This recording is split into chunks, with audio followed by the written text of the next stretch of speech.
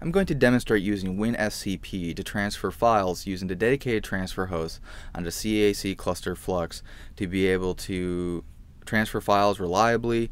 Uh, these machines only allow file transfer access. They do not allow normal user logins. They also require the use of two-factor authentication. Two-factor requires the use of an M token, a key small keychain with a rotating number on it that provides for security in the event a password is compromised. On a Windows machine, in a sites lab or an engineering lab, go to All Programs, Internet and Email, and select WinSCP. Start up WinSCP.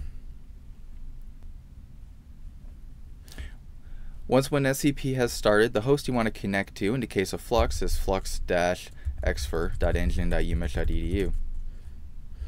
Your username is the username you use to log into the cluster, and the password is your normal password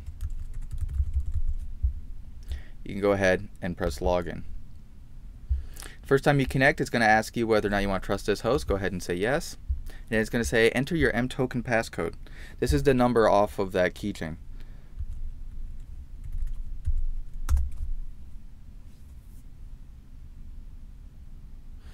In this case, the left side is the machine I'm currently on, which is this Windows machine. The right side is the directory on the cluster. You can see it started me in my home directory. If I wanted to move to a different directory, I could uh, go up to slash and then go to no backup and then my space in no backup.